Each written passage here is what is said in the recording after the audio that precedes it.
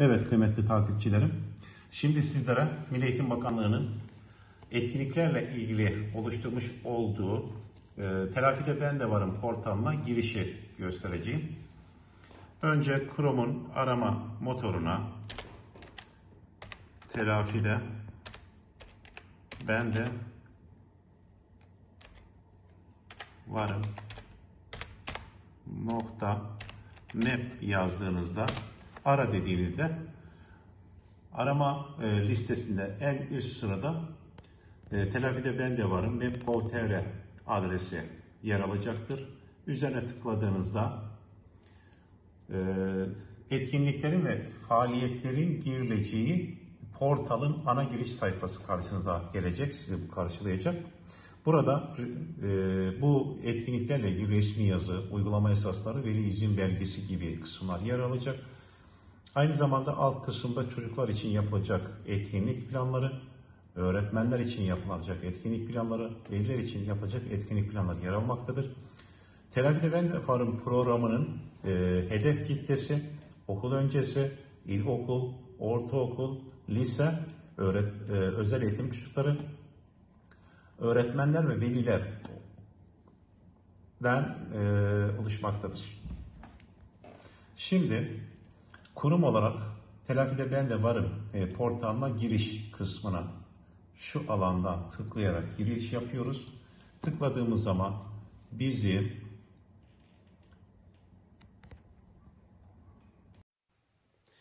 Güvenlik kodu giriniz kısmına üstteki 4 haneli rakamı yazıyoruz. Orta kısımda bulunan kullanıcı adını giriniz kısmına ise kurum kullanıcısının adını giriyoruz. Şifrenizi giriniz kısmına ise kurum kullanıcısının şifresini girerek giriş tuşuna basıyoruz.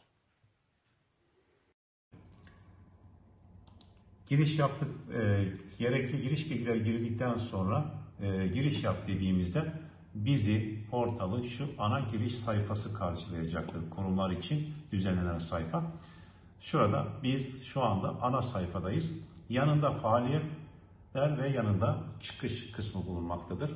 Faaliyetler, yap, e, girişler yapılabilmek için faaliyetler kısmına basmak gerekiyor.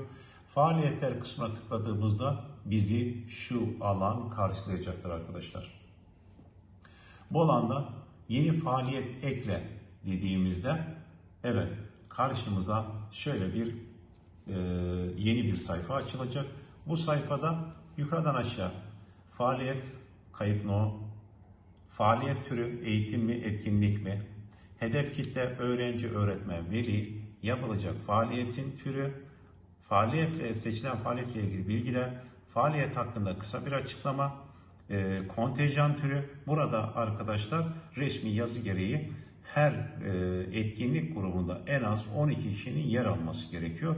Daha altta da faaliyetin yapılacağı yer şurada kurum ise direkt kurumun zaten bilgileri burada yer almakta. Eğer kurum dışı ise şuradaki bilgilerin e, kurum tarafından etkinlik nerede yapılacaksa bilgilerin buraya girilmiş olması gerekiyor. Ayrıca bu etkinliklerle etkinlikle ilgili sorumlu kişinin e, adı, soyadı, telefon ve e-posta bilgileri gibi bilgilerin buraya eklenmiş olması gerekiyor. Daha sonra şurada e, etkinlik yap, etkinliğe başlama tarihi, bitiş tarihi ve hangi günler, hangi saatlerde yapılacağına dair şuradaki bilgilerin doldurulmuş olması gerekiyor.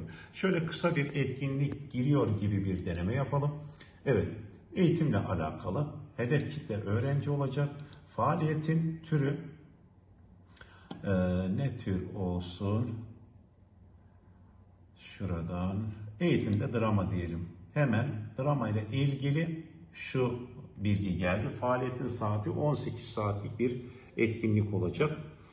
Şurada faaliyet hakkında kısa bir açıklama, işte faaliyet okulumuzun şurada şu salonda yapılacak gibi vesaire veya e, kısa bir drama ile ilgili bilgilendirme yapılabilir. Kontenjan diyoruz arkadaşlar dediğim gibi kontenjan en az 12 kişi olacak.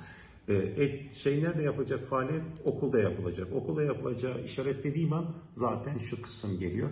Şuraya da işte e, kim tarafından e, takip edilecek, telefon numarası ve e, posta adresi gibi bilgiler buraya yazıldıktan sonra Veya şöyle biraz karalayayım.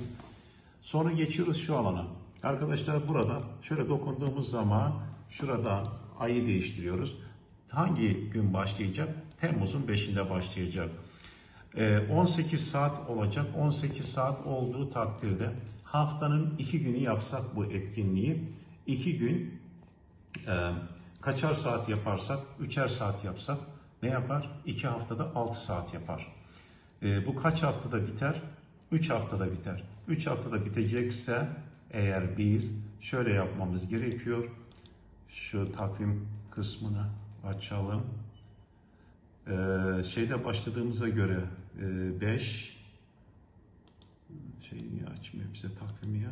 Takvimi açmalıydı. Ha şurada altta kalıyor takvim. Evet. 3 haftalık bir dilime yayacağımız zaman arkadaşlar yazacağımıza göre şurada e, acaba yanlış mı veriyor? E, 6. ay dedi bu. 7. ay olacak. Evet. Şurada 3 hafta 23 Cuma'da bitireceğiz. Hangi günler çalışma yapacağız arkadaşlar? Salı.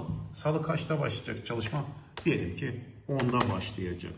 Günde kaç saat olacaktı arkadaşlar? 3 saat 40 dakikada 10 40 e, 11 buçuk e, ve 12 20 diyelim. 12 20 de etkinliğimiz bitecek arkadaşlar. Diğer ne gün? Diğer de Perşembe günü ikinci haftanın çalışma yapacağımız ikinci günü Perşembe. Yine 10'da başlıyoruz. 12-20'de bitiriyoruz.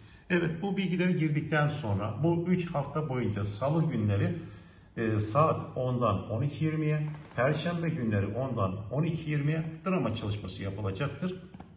Şu kaydı yaptıktan sonra direkt arkadaşlar etkinlik ilçe milli eğitimin onayına düşüyor.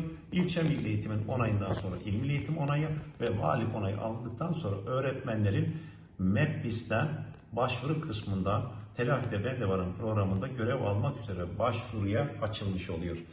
Ee, Telafide Ben de Varım e, portalının kullanımı bu şekilde. E, beni izlediğiniz için teşekkür ediyorum. Kolay gelsin.